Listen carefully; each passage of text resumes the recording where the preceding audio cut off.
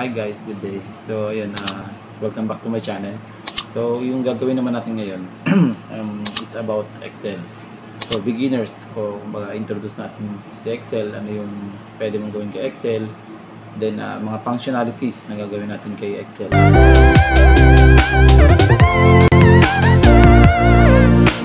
Okay, uh, guys, so ngayon, um, introduce ko na sa inyo si Excel, uh, kung paano yung mga basic functionalities niyan, at kung ano yung mga gamit nun. Saka also, kung ano yung screen elements mismo ni Excel. So, ano ba yung screen elements? Yung mismo makikita mo kay, kay Excel para alam mo kung paano siya gagamitin. Para ma-open yung Excel, go to Start, then type Excel. Okay?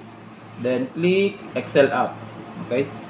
So, once mag-open ka ng Excel, ang unang makikita, ito, uh, meron siyang uh, recent, mga pin, then naka-home siya. So, ibig sabihin, kung ano yung mga recent uh, documents, ah sorry, uh, Excel sheet na ginawa mo, makikita mo na siya dito. Then sa new, workbook. Then sa open, sa open, makikita mo yung mga drive mo, this PC, kung ano kung nasaan yung location na gusto mong i-open. Kung saan folder. Then browse, automatic lalabas yung uh, dialog box kung saan mo siya kung hindi mo ma-open ng ayos or hindi mo makita dito sa isang options na to.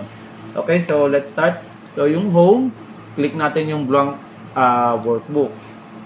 So ito yung mismong screen elements sa sinasabi ko. So introduce ko muna sa inyo kung ano yung mga tawag dito para mas maintindihan nyo rin po. Alright? So ito, ang tawag dito, ito yung uh, uh, access toolbar o yung uh, quick access toolbar which is pwede kang maglagay ng mga gusto mong functionality kung ano yung gusto mo na pwede mong i-add dito. Magmo-more commands ka lang, i-add mo lang. For example, gusto mo nandyan yung borders. Pag kinilik mo yan, then okay, makikita mo na dito yung borders. Ayan, so makikita mo na siya dyan. So, pipili ka lang totally kung anong gusto mong makita. Then, sunod naman, ito yung file mo naman na ang makikita mo naman dito, file, open, or save, etc. Yan yung mga laman niya, which is ito yon. Then next, ito yung zoom na tinatawag. Uh, para mas makita mo nang maayos yung cell kung medyo malabo yung mata mo or naliliitan ka dun sa sa text uh, text size so isum mo lang ayan drag ayan so drag mo lang makikita mo lang maayos yung cell mismo. Ito yung uh, vertical scroll. So kapag nagdadagdagan yung cell mo uh, lumalaki dito. Ayan yan. Dadagdagan din yung vertical scroll. Ito naman yung horizontal. Kapag nagmo-move ka to the right nadadagdagan din siya to the left. Then kapag ka vertical down and up. Okay? So, ito yung insert work uh, worksheet button. Kapag nag-press ka nito, automatic magkakaroon ng additional sheet. Okay, ito yung existing sheet 1, then sheet 2. Then ito yung worksheet navigation uh, navigation uh, tools naman. So click mo lang kung ano yung ginagawa mo. For example, ito yung uh, data 1 mo. Pwede mo siyang i-rename. Ayan, may mga functionality dito which discuss din natin naman 'yan. Okay? So, ito yung formula bar. Lahat ng text and formulas makikita mo dito. So, for example, ito. So, makikita mo siya sa formula bar na meron kang text na ini-input. Alright? So, introduce ko sa inyo yung mga basic functionality na nandito sa taas. Sa home, makikita nyo dito yung clipboard, font, alignment, at saka number. Then sa styles naman, kung ano yung mga gusto mong itsura ng mga text mo or cells mo. Then sa cells, uh, ganun din yung mga format din, editing, like yung mga autosum, mga fill, uh, clearing o yung mga table. So, dito muna tayo sa home. So, gawa tayo ng context na uh, text na sample. Sample text, okay? Ayan. So, para mas makita mo na maayos to, ang, ang para mas maayos yung formatting nyo, kailangan nakatama siya based dito sa size ng column. Ayan, so kagaya nito, lampasan na sa, column B, pwede mo siyang i-double click double click, then automatic mag-adjust na siya dun sa pinaka-size nung text mo. Alright, so ando natin, double click mo lang, mag-adjust na siya. Alright, so dito sa home, meron ditong cut. So pagka-cut, yan yung pag, uh, katulad siya ng copy, pero totally mamove siya. Pag-cut, makikita nyo yung, uh, yung text o yung bari itong text na to, uh, nagkaroon siya ng ganyan. Then pag nilagay mo dito, ang kasunod naman yung command is yung paste. Control B, In keyboard, Control B. Ayan, so mamumove siya. copy naman, so copy, select mo lang yung copy or Control C, then paste. Magkakaroon siya ng ka-duplicate niya. Okay? So format painter, uh, ang ginagawa niya naman, um, Click format printer, select something else to automatically apply the formatting. So, for example, ito. Ayan. So, parang automatic na siya. Lalabas na yon. Then, next naman, ito yung font style. Kung ano yung font na gusto mong gamitin. For example, gusto mo Arial. Hanapin mo lang yung Arial, click mo lang yung arrow down, then click Arial. So, mag-iiba na yung text style niya. Kung ayaw mo naman yan, kung gusto mo ito, ayan. Then, double click mo lang ulit. Then, ito yung size naman, font size. So, para saan ba to? So, para mas makita mo, kasi may mga header-header tayo. So, for example, header 1 mo, kailangan mas malaki yon So, 24, ayan. Bali. so, ito yung mataas mo. At, uh, yan, 14. So, 14 yung size niya. Then, ito, shortcut siya. Pwede mo siyang i-increase. Dire-diretso. 1, 2, ayan, tumataas na siya. Then, ito naman yung pagpa-decrease nung font. Yan. Okay? Then, ito, yung uh, format ng text, like bold, italic, underline. Okay? Tapos, ito naman, yung border details naman. So, pwede ka mag-add ng, ng mga uh, borderline. So, pipili ka lang dito, arrow down mo lang, then bottom border. Ayan, so magkakaroon siya ng border. Tapos, um, for example, all borders, automatic magkakaroon na siya ng buong border. Ayan. So, dito, yung color naman nung feeling, uh, nung mismong text na to. So, click, then magpapalit na siya ng border color. Ayan. Then, text color, magpapalit naman siya ng text color kapag nag-change siya dito. So, depende sa'yo kung anong color na gusto mo. Pero wag nyo lang gawin color game. Yan. Ayan. So, yan. So, kung ano yung magandang tingnan sa mata, yun yung gawin nyo.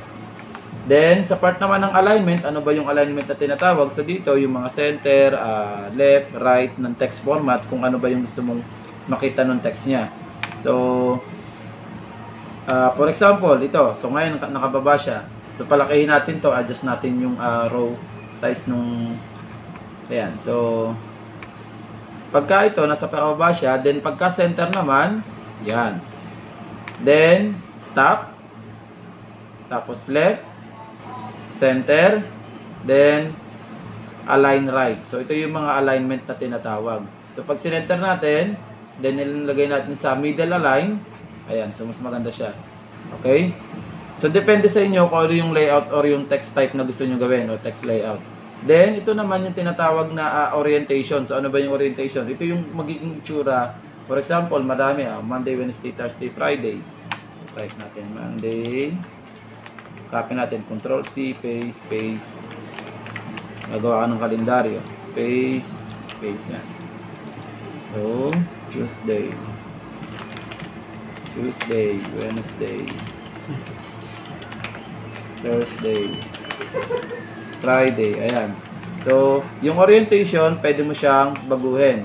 So, magbabago yung text orientation niya like this one. Ayan. So, ganyan yung magiging itsura niya. So, click lang natin based dun sa size niya. Double click nyo lang. Yun. Tapos, double click nyo lang din to. Ayan, para mas magandang tingnan. Okay? So, next naman is yung mga general na tinatawag. So, ang ginagawa naman dito, um, yung mga number format. So, um, specific kasi lagi nakalagay dito, ah, general lang. So, ikaw ang bahala kung anong gusto mo. For example, add this one. 1, 2, 0, 3, 89. So, pag nag-change ka dito, short date, yan yung lalabas sa kanya. So, ma-change mo na agad siya dire, uh, uh, automatic. For example, percentage. Ayan, so yun naman. Magkakaroon na rin siya. Then, ito yung mga sign uh, accounting number format naman. So, ito yung mga format. For example, peso, dollar, euros. So, pwede mo siyang baguhin din. So, like peso. Ayan. So, naka-insert na agad siya. Naka-peso na siya. Kung gusto mo naman dollar, ayan, naka-dollar na rin po. So, dito naman, percentage, like yung ginawa din natin kanina, kukunin niya na yung percentage ng amount na in-input natin. Then, comma style, depende sa'yo kung saan siya ilalagay. Ayan. Kasi ang value niya is 100,000. That's why automatic magkakaroon na siya ng comma dun sa 1,000. So next naman, yung zeros. Kung paano yung, yung format ng zero. Increase or decrease ng decimal number. Ayan. So kaya siya ganyan, kailangan mo lang siyang i-move ulit. Ayan. So basta nag-error, nagkaroon ng ganito, ibig sabihin hindi kasya yung text niya or yung ginagawa mong number. Then decrease, kung ayaw makita yung adhere 0. So, conditional formatting naman, so ginagawa naman to, uh, depende kung ano yung layout na gusto mo sa mga values or mga highlight. Again, uh, for example, data bars. So, highlight, uh, highlight cell rules, yan, yun yung mga yon. Then, format as table, pili ka lang ng layout. For example, ito, up, cancel. Select natin to lahat. So, pag select, uh, click nyo lang yung mouse, left, uh, left click lang, then highlight, tapos pili ka lang ng table, ayan, tapos okay mo lang. Ipo-format nyo na yan based dun sa pinili mo. Ayan, so ito yung mga lalabas sa kanya. Okay? So, balik ulit tayo sa home. Then, meron naman dito, insert, delete, and format. So, depende sa'yo kung anong table yung gusto mo. So, delete, ayan, magtatanggal na siya automatic. Then, format, kung ano yung uh, mga height and width na gusto mong gawin sa sa cell mo. So, after naman nun, yung editing, so yung auto-sum, ano ba yung auto-sum na tinatawag? So, for example, mm, ganito siya. Uh, gawa tayo ng number dito. So, 1, 2, 3, tapos 1, 2, 3, tapos, pag kinilik nyo yung auto-sum, kukunin niya na automatic yung uh, cell na nasa taas, yung value mismo. Isasum niya na agad yun, subtotal. So makikita nyo dito, meron na siyang subtotal. Then next naman, yung insert naman natin. So yung insert, ito, yan. So iba-iba naman yung shape niya. O kung ano yung mga gusto mong ilagay dun sa sa cell mo. So for example, insert picture, ayan, this device, pili ka lang kung anong picture yung ilalagay mo pictures. Ayan. For example, back, back. Wala dito pictures. Wala rin pictures. Download. Bawa ito. Ayan. Insert. Ayan. So, picture to. Kaya lang huwag napakita. Ayan. Ayan. Mga ganyan. So, next naman, um, chart format. Kung ano yung gusto mong chart. So, iba-iba yung tools na nandito. So, depende sa inyo kung ano yung kailangan nyo based sa ginagawa nyo. Okay? Then, page layout uh, kung ano yung orientation na makikita nyo dun sa sa page nyo. So, ito yung orientation. For example, naka-landscape. Then, naka-portrait. Sa size, kung anong size ng paper na gagamitin nyo. A4, uh, 8x11, or yung uh, legal size na tinatawag or yung long. Then, uh, ano pa bang malimit ginagamit? Formulas. So, yun nga, yung auto-sum. Tapos, uh, may mga default naman dito kung anong gusto mo. Ayan, so may mga basic formula dito na pwede mo gamitin. Aralin na lang kung ano talaga yung uh, kailangan nyo. Then, sa data naman, ang kalimitan ginagamit dito sa data, uh, yung uh, ito, itong mga sorting. Then also, yung text to column. So, ano ba yung text to column? So, for example, meron kang CSV file na hindi mo ma-open. So, pwede mo itong gamitin para ma-open yung, uh, ma-open mo siya as, uh, as column or multiple column. Then data validation, sa ginagamit do, for example, meron kang data na gusto makita na mag-automatic na siya. Parang ganito. So, yes, no. Ay, sorry, no. So, balik tayo sa sheet 1. Tapos, pag ginamit mo yung data validation, so, ano daw yung gagawin mo? Any value or list. So, dahil ang gusto natin makita, meron siyang choices para dun sa yes or no. Ang gagawin mo lang, gagamit ka ng data validation. So, halimbawa, Correct. Ayan. So, correct yan. Question, answer. Ayan. So, answer. So, gamit ka ng data validation dito, then magkakaroon ng drop-down list para pumili siya ng yes or no. So, click ka lang sa cell na yan. Then, data, data validation. Then, click list. Then, after that, dun sa source, pipiliin mo yung sheet 2 or yung data na pagkukuhanan mo ng para sa drop-down list. So, select ko yung sheet 2 then highlight ko lang, then enter, click enter in keyboard, tapos okay. So magkakaroon na siya ng option na yes or no. Ayan, yes or no. Yan yung data validation.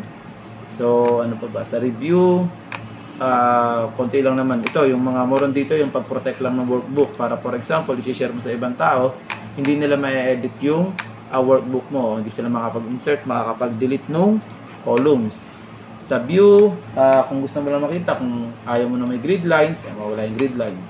Kung gusto mo yung wala yung formula bar, wala yun. Then, yung ruler automatic naman nakikita na siya. then zoom. Katulad lang din naman ito. Ayan. So, ayan. So, ayun. So, yun yung mismong ah, mukha o yung mga basic functionality na meron si Excel. So, dun sa next naman natin tutorial, ah, gaga, ah, gagawin naman natin yung mga functions or yung mga formula na pwede nyong magamit or makatulong sa inyo sa paggamit nyo nung Excel.